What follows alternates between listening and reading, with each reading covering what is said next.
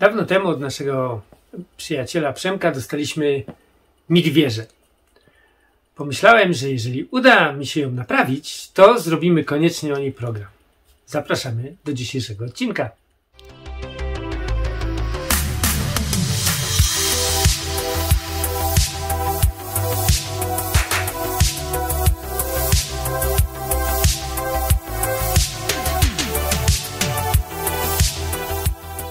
Witamy serdecznie wszystkich miłośników starego audio.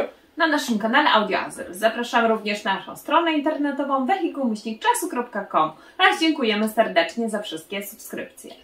Oczywiście o subskrypcjach i o dzwoneczku przypominamy, abyście byli na bieżąco z naszymi odcinkami.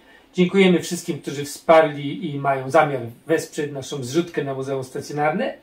Oraz oczywiście przypominamy, tak jak mówiłaś już, o naszej stronie internetowej, bo tam pojawiają się nowe katalogi ze starych lat, siedem- e, 70., 90.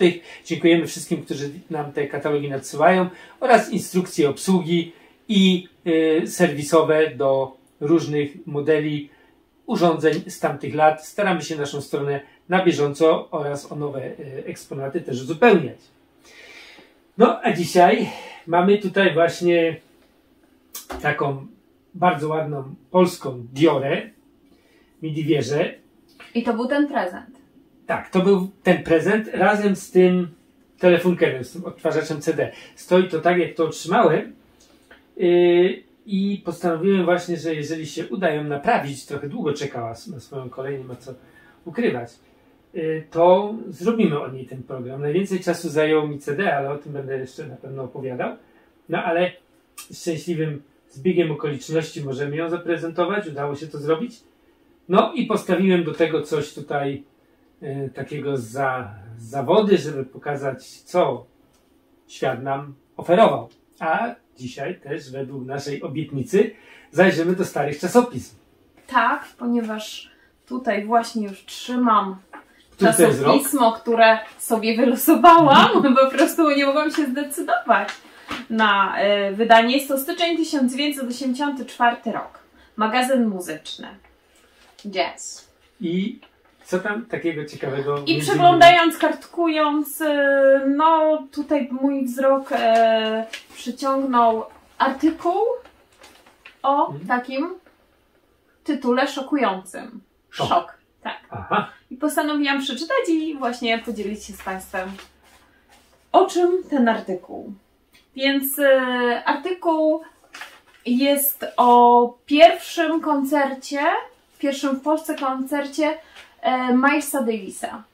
Koncert, był to koncert, który, odmi- który odmienił polski jazz. mhm. I właśnie 23 października 1983 roku ten gigant, jak się go określało, wystąpił nad Wisłą. czyli zobaczcie, on występował w październiku, artykuł jest w styczniu. W styczniu, tak, 8-4. Czyli nie ma tak jak dzisiaj, że dzisiaj jest koncert, a 15 minut po koncercie mamy już na YouTubie wycinki i komentarze z tego koncertu. Tutaj trzeba było poczekać parę miesięcy na to, ażeby się ukazał artykuł. Tak, było oczywiście to niezwykłe wydarzenie.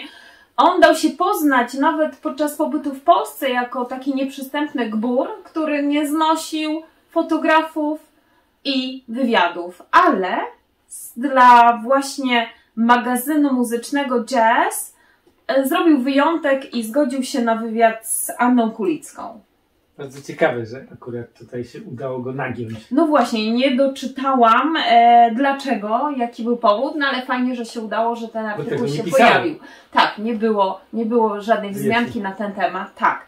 E, no i takie tutaj jeszcze kilka ciekawostek, ponieważ e, oczywiście w kontrakcie oprócz niezbędnych e, danych finansowych, żeby spin- sfinalizować umowę, Zawsze pojawiało się w tym kontrakcie ponad 20 stron szczegółowo opisanych wymagań, e, które gospodarze powinni zapewnić, żeby gość czuł się dobrze. I tutaj przytoczę. Wśród nich zastrzeżenie, że na lotnisku artysta nie chce stykać się osobiście z tłumem i celnikami, że w hotelu chce wejść do swego apartamentu nie zatrzymując się w recepcji, że w menu mają być owoce, jarzyny, woda mineralna, sery, hot salami i żadnej wieprzowiny, że sauna i basen są nieodzowne, że samochód ma być na miarę jego geniuszu i że za kulisami mają prawo być tylko osoby niezbędne i jeszcze najważniejsza tutaj klauzula żadnych wywiadów. No tak. Pomyślcie sobie, żadnych celników. Czy to tak można było jeszcze za komuny sobie zażyczyć, że on nie chce się stykać z żadnymi celnikami? No i wszystkie te wymagania zostały, te warunki spełnione. Tak, no dzisiaj nie wiem, czy e, gwiazdy też mają takie życzenia i czy tak łatwo można je spełnić, żeby przylatując gdzieś nie życzę sobie spotkania z żadnym celnikiem. No i sauna i, i basen. W tamtych no to... latach, aczkolwiek e, jest tutaj też informacja, że właśnie w związku z tym wyjazdem i z tym kontraktem opóźniono remont basenów e, w hotelu Victoria. Opóźniono remont. To ciekawe, jak on wyglądał. Że akurat przed remontem mu się on trafił. No ale no, jest to ciekawa bardzo historia. No, pierwszy dzień pobytu w Polsce, mm, podczas tego pierwszego dnia pobytu, Majs zrezygnował całkowicie z kontaktu ze światem zewnętrznym, zamknął się w swoim apartamencie. Pierwsze, pierwsze, rzeczy, o pierwsze rzeczy, które poprosił, będąc na polskiej ziemi, to o akwarele i multivitaminę. A dlaczego akwarele? I tutaj też taka ciekawostka, którą wyczytałam, która, która gdzieś tam pojawiła się podczas wywiadu, że właśnie y, styczniu e, przed y, promocją jego płyty Decoy e, właśnie mm, miał być wernisaż i był, bo później też w internecie znalazłem informację, poświęcony e, jego właśnie rysunkom akwarelom. Mhm. Pierwszy publiczny tutaj pokaz to było w galerii, jednej z galerii nowojorskich. Bo w ogóle ten jego y, koncert w Polsce inaugu- inaugurował całą trasę koncertową, prawda? Tak, y, był to pierwszy koncert inaugurujący europejską trasę koncertową I bardzo mu Davisa. się ten koncert tutaj, publiczność przede wszystkim mu się bardzo spodobała, prawda? Tak, ja nawet tutaj zacytuję. Kiedy po koncercie jego dygnitarska limuzyna z trudem przedzierała się przez tłum niedawnych słuchaczy koncertu, którzy z rozskrzonymi oczami usiłowali wyszukać wśród pasażerów Milesa, muzyk nagle spytał, jak to się dzieje, że nie byłem dotąd w tym kraju? Nie wyobrażałem sobie, że jest na świecie miejsce, gdzie jest tylu ludzi tak bardzo kochających muzykę. Wydaje mi się, że wiele y, osób, które koncertowały u nas w Polsce, chętnie tutaj wracają. Jesteśmy chyba wdzięczną publicznością mimo wszystko. Myślę, że tak, taką e, bardzo pozytywną, specyficzną, ale w tym pozytywnym znaczeniu. Tak, wydaje mi się, że wiele gwiazd mogłoby to o nas powiedzieć. Zresztą e, trzeba przyznać, że bardzo wiele koncertów w Polsce się mimo wszystko odbywa i chętnie do nas wracają. No ale wracając do Majsa, to był już jakieś 10 lat przed śmiercią, prawda? Jego. E, w 1983 zmarł w 1991. Tak, urodził się w 1926 roku. No właśnie. Z takich jeszcze ciekawostek, zawsze przed koncertem, na kilka godzin przed koncertem uwielbiał a, być sam. Dużo czasu e, zajmował mu dobór odpowiedniego stroju, a przede wszystkim e, nakrycie głowy. Ponieważ oprócz bagażu takiego niezbędnego zawsze woził ze sobą e, walizkę, olbrzymią walizkę z kapeluszami. I tutaj taka ciekawostka, że właśnie e, jak e, wyjeżdżał z Warszawy, to już z nowym nabytkiem, czyli z nową czapką, którą tak naprawdę i tutaj było napisane porwał swemu tłumaczowi, bo się tak mu spodobała i wracał z nowym nakryciem głowy. Ciekawe historie z, takiej, z takiego starego czasopisma, gdzie człowiek tych informacji już w dniu dzisiejszym y, ciężko je chyba znaleźć y, z takimi szczegółami, no bo jednak to było pisane jak na tamte czasy, jakby na bieżąco, prawda? Tak, tak. Ja myślę, że może będzie szansa, że zamieścimy ten artykuł na naszej stronie. Jest Może. naprawdę bardzo Jeżeli fajny, byście ciekawy. uważali, że, że powinny być te artykuły na naszych stronach, to będziemy je fotografować i, i to, o czym dzisiaj opowiadamy, czy w każdym odcinku, o czym będziemy opowiadać, to będziemy też umieszczać na naszej stronie. Bardzo fajny pomysł. Tak, jeszcze przypomniała mi się informacja, że właśnie ten wernisaż w tej nowojorskiej galerii, jeśli chodzi o akwarele, trw, miał trwać tyle, ile właśnie trwała nowa płyta wtedy promowana. A. No tak. To co, przechodzimy Tak jest. A teraz zapraszamy do na prezentacji. kolejne płyty i stare audio też z tamtych lat. Zapraszamy. Bardzo się cieszę za każdym razem, gdy możemy oprócz sprzętu japońskiego, tak jak w tym przypadku, czy niemieckiego, duńskiego, zaprezentować też sprzęt naszej rodzimej produkcji. Oczywiście mm, y, jest go troszeczkę mniej jakby niż tych sprzętów, które posiadamy, to jednak za każdym razem staram się, aby ten sprzęt mm, wyczyścić, uruchomić i Wam go również y, zaprezentować. Ale no, w tym przypadku mamy tutaj no, niestety prawą kieszeń uszkodzoną. Jest tam jeden igler. y, No, guma jest do wymiany, niestety nie chodzi, ale lewa kieszeń udało się ją uruchomić i co ciekawe, powiem Wam, że no, nie wiem dlaczego, ale tak z tymi polskimi sprzętami jest, że obroty się zmieniają. No, tutaj w tym momencie jest ten magnetofon wyłączony, jest zimny, stoi tutaj już powiedzmy dłuższy czas, ale jak go bym włączył i byśmy posłuchali go tutaj z godzinkę, no to obroty z czasem zmieniają się na, na inne. Czy to jest kwestia elektrolitów, czy po prostu silników, nie wiem, ale tak często z tymi polskimi sprzętami jest, że ciężko jest y, te obroty utrzymać na stałe jednakowej prędkości. Tutaj na przykład w tym szarpie ustawiłem obroty kiedyś w jednej i w drugiej kieszeni i przed tym programem, bo tą wieżę już kiedyś nawet e, prezentowaliśmy, zachęcam wszystkich do obejrzenia starszych odcinków, gdybyście chcieli ją jeszcze raz obejrzeć. W innej oczywiście konfiguracji, bo chyba wtedy była z czymś innym prezentowana.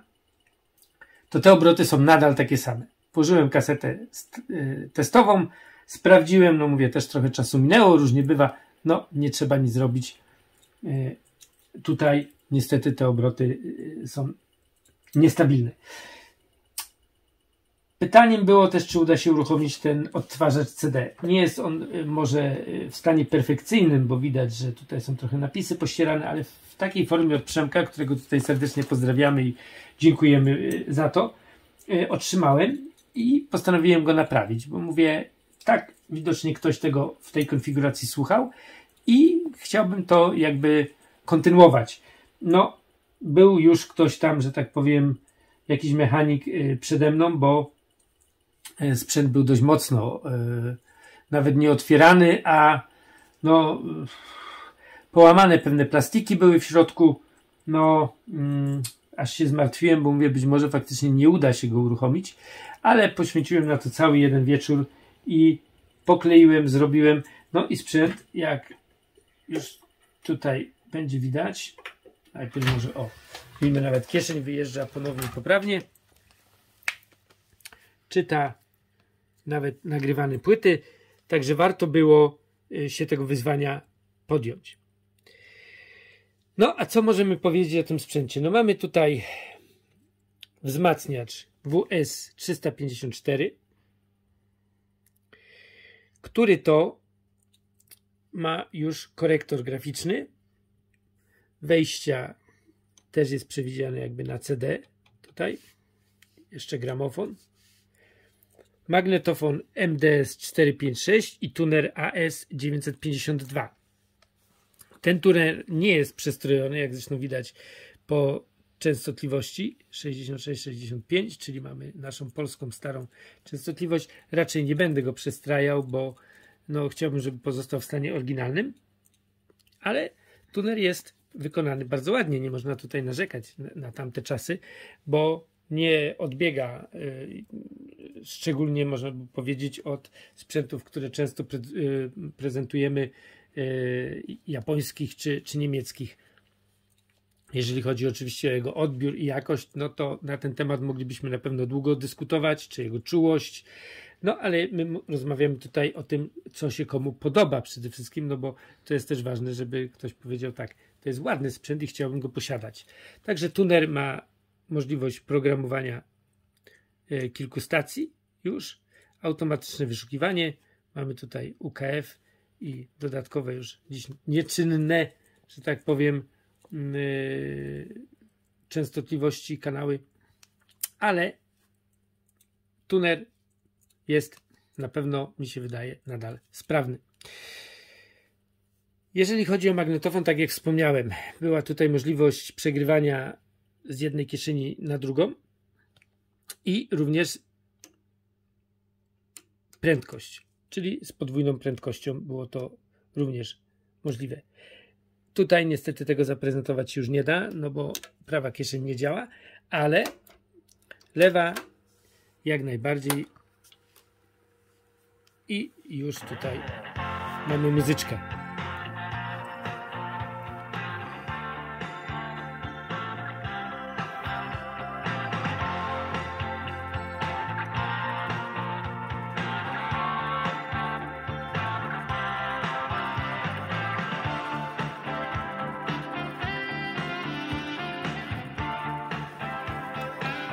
I teraz włączę Wam odtwarzacz CD, aby zobaczyć ten sam utwór, ale zasadnicza moc, duża różnica, jeżeli chodzi o jakość dźwięku. Odtwarzacz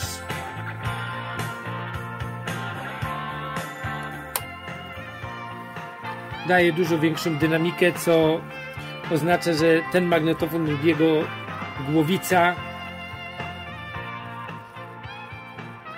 no już nie jest w najlepszym stanie, bo często jest tak w dobrym sprzęcie, że nie słyszymy różnicy między magnetofonem a odtwarzaczem CD. Czasami nawet ta dynamika na dobrze nagranej kasecie jest lepsza niż płyta kompaktowa. Takie przynajmniej ja y, mam wrażenie przy niektórych y, dobrych sprzętach. No tutaj jest ta różnica, tak jak słyszycie, dość znaczna.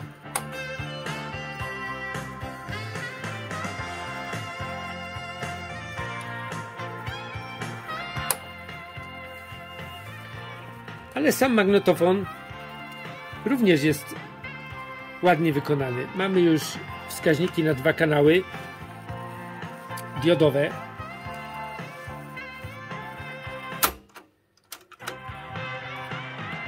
Startuje również już miękko, także mechanizm już jest z tych nowocześniejszych. Możliwość obsługiwania oczywiście kaset również metalowych. I tutaj już jest również przycisk Dolby. Także na tamte czasy, no, sprzęt na pewno bardzo, bardzo fajny, który cieszyłby niejednego posiadacza.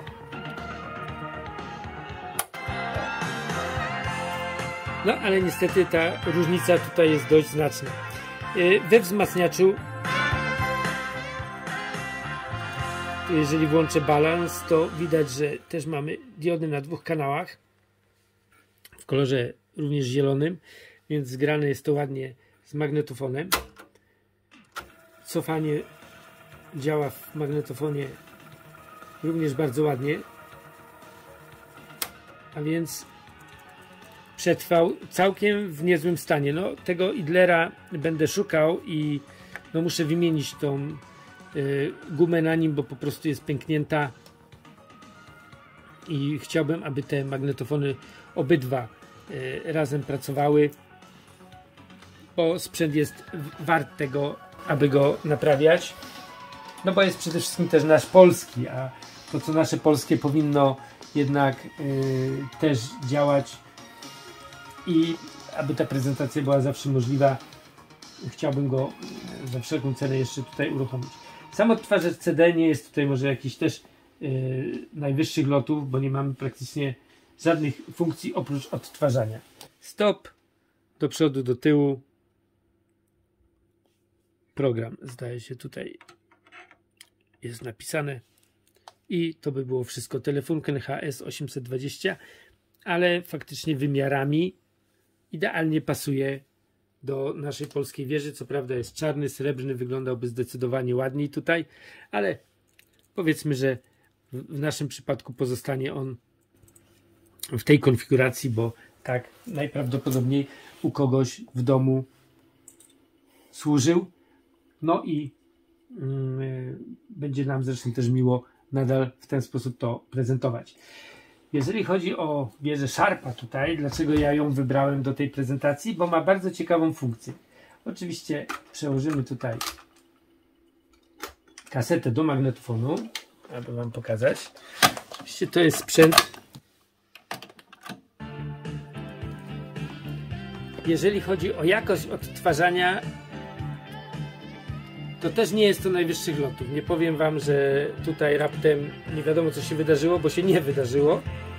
I magnetofon odbiera bardzo podobnie do naszego polskiego, czyli nie jest to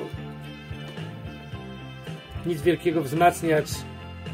Również jest bardzo podobny. W ogóle tutaj nawet diody w magnetofonie są pionowe, tak jak w naszej polskiej wieży. Dlatego tak starałem się to nawet dobrać. Mówię, ona jest jakoś naprawdę mocno zbliżona do naszej diory. Też mamy wzmacniacz z wejściami na CD i yy, gramofon.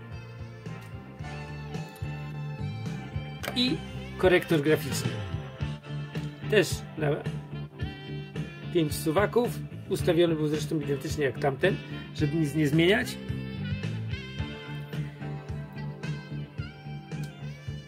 Dodatkowo tuner również też z zielonym wyświetlaczem.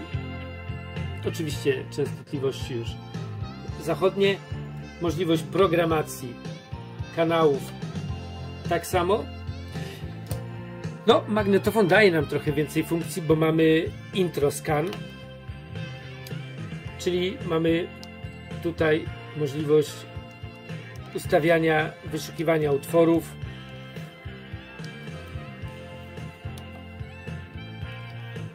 A więc jest on już zdecydowanie trochę bardziej yy, rozbudowany. Przegrywanie jest również możliwe z jednej kieszeni na drugą, również z podwójną prędkością. Także funkcje są też tutaj bardzo, bardzo podobne. Może kontynuacja y, odtwarzania, gdy wyłączy się jedna kieszeń, a włączy druga, jest taką dodatkową funkcją. No i tak jak w naszej polskiej wieży tutaj mamy Dolby. Więc te wieże są do siebie naprawdę dość mocno zbliżone, gdyby nie ostatni element tutaj, czyli gramofon. Zaprezentuję tutaj może, o właśnie, teraz wyjedzie. I w momencie, gdy włożymy płytę i wciśniemy tutaj start, to tutaj właśnie nam się pokazują utwory. On też przeszukuje płytę i pokazuje nam, ile jest utworów na danej płycie i zaczyna odtwarzanie. Jest to co prawda jedyna płyta, której Sazam nie znalazł, utworów, y, więc być może YouTube nam zaraz tego nie wyłączy. Są to szanty niemieckie. No, starzy widzowie, stali widzowie naszego kanału już tą płytę trochę znają. Więc trochę przyciszę te szanty ale jest to naprawdę bardzo fajna funkcja. Jeżeli chodzi o ten sensor tutaj, to po poprzednim programie było dużo różnych komentarzy, że to jest, służy do y, czułości wyszukiwania utworów i tak dalej. No, jest on tutaj tyle co komentarzy, nie wiem, powiem szczerze, nie sprawdzałem tego dokładnie nadal, ale taki sensor tutaj jest. Możecie oczywiście to komentować ponownie. Y, I można też odtwarzać stronę drugą. Czyli przerzucamy sobie tutaj na stronę B i on również nam przeszuka i odtworzy stronę B bez konieczności wyjmowania tej płyty, przekładania jej na drugą stronę. Także jest to pełny, pełny automat. Bardzo ciekawy gramofon dla ludzi, którzy się tym interesują. No to Sharp robił kilka takich różnych modeli właśnie, gdzie płytę można było odtwarzać jednocześnie mm, prawą i, i, pierwszą i drugą stronę bez konieczności jej wyjmowania. Ten model to jest y, RP207 dla osób zainteresowanych. Mamy tu możliwość też odtworzenia drugiej strony z automatu, po pierwszej, a żeby była druga odtworzona lub tryb ciągły. No i co ciekawe, możemy też przesunąć o kolejny utwór, tak jak na płycie CD. Proszę, już mamy kolejny utworek.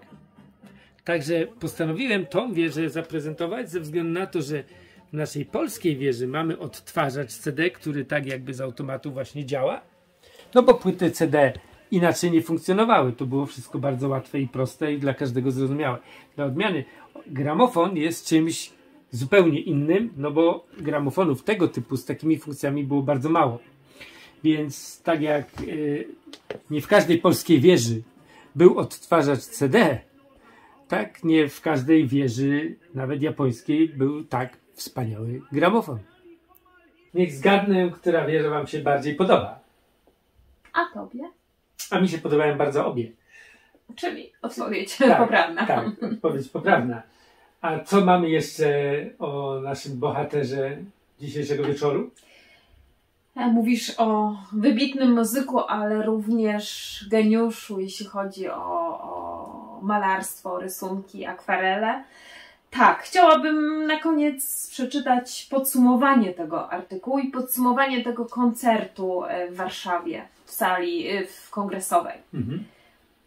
Po tej pozytywnej wibracji, jaka zaistniała pomiędzy mistrzem a zahipnotyzowaną wprost widownią, po tym obustronnym szoku i prawdziwej uczcie muzycznej, nawet brak zagwarantowanych kontraktem potraw w hotelowej kuchni, nie był w stanie zirytować tego murzyńskiego arystokraty i gwiazdora nawykłego do uprzedzającej jego myśli obsługi. Do rana przysłuchiwał się taśmie z koncertu, analizując ją szczegółowo. Podobnie kończyła się zapewne ta noc w wielu domach słuchaczy tego koncertu. A chciałabym tutaj zaznaczyć, że podczas wywiadu też e, wypłynęła informacja, że nigdy nie analizował swoich koncertów, nie czytał jakichś tam opinii krytyków, po prostu tym się nie interesował. No właśnie. Polska widownia zrobiła na nim wrażenie. Dlatego ten tytuł szok. Szok, doko- dokładnie. Pierwszy raz Znamy. przyleciał do tego kraju i się zdziwił. No właśnie. My też bardzo lubimy naszą polską publiczność. E, Dziękujemy Wam oczywiście za wszystkie komentarze. Staramy się analizować. Czasami odpowiadamy, jeżeli macie jakieś pytania. E, Mamy nadzieję, że dzisiejszy odcinek też się Wam podobał i e, te wstawki właśnie tutaj będą też trochę urozmaicały nasze następne odcinki. Więc jeżeli macie ciekawe artykuły czy ciekawe gazety, to oczywiście możecie nam też podsyłać. Będziemy z tego na pewno korzystać, aby wszyscy razem z nami mogli wspominać te, jakby nie patrzeć, wspaniałe lata naszej młodości. Dziękujemy za oglądanie naszego kanału, za subskrypcję, o które oczywiście prosimy. Dziękujemy za zrzutkę, o której troszeczkę przypominamy i dziękujemy wszystkim, którzy w niej uczestniczą. I do zobaczenia w kolejnym odcinku i na naszej stronie internetowej wehikułmyślnikczasu.com. Do Do zobaczenia. widzenia.